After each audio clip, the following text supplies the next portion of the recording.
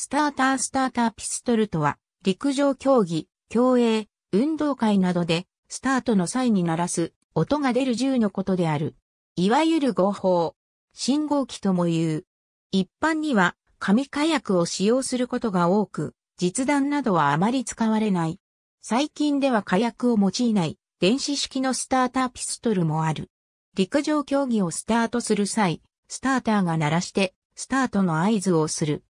種類としては、紙火薬を用いるものには単発式と双発式の2種類があり、この他火薬を用いない電子式のものもある。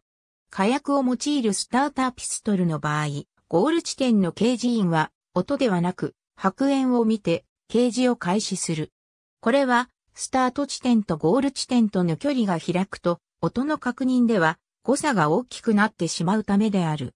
ただ、空気中の白煙は確認しにくいことがあるため、スターター側に補助員をつけて信号機反射板を用いることもある。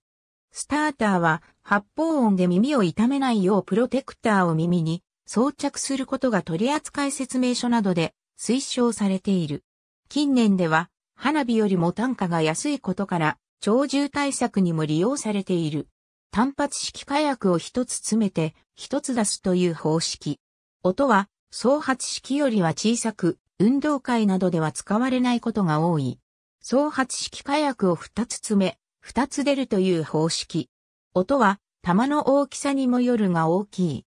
この音は微妙にずれがあってパパンという音がする。運動会や陸上競技では大抵こちらが使われる。火薬を用いずに合成された電子音をスタート音として用いる方式。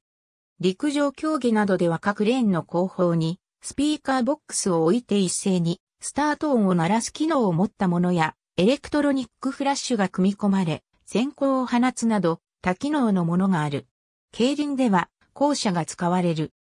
例えば、100メートル走の場合、電子式、スターターピストルの引き金は、スターターピストル先端の発光部、重砲の合成音を出すスピーカー、フライングを検知する、スターティングブロックのセンサー、指令室のパソコン、写真判定用のカメラなどと連動しており、これらが一斉に動き出すスイッチの役割もしている。ありがとうございます。